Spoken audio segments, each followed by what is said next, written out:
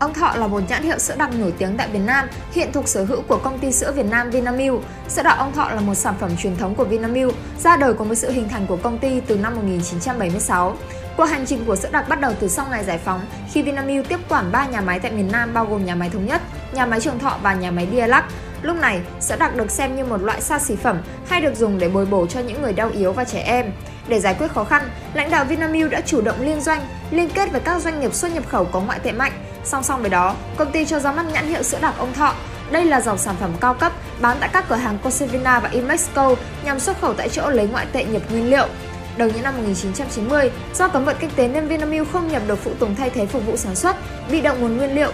Kỹ sư và công nhân đã cùng nhau tự thiết kế hình ông thọ dập nổi, sáng tạo ra công khuôn nắp lon sữa, tận dụng phế liệu chiến tranh như xác xe tăng, nòng pháo, đồng thời lên kế hoạch phát triển hệ thống trang trại bò sữa trong nước nhằm từng bước tự chủ nguồn nguyên liệu.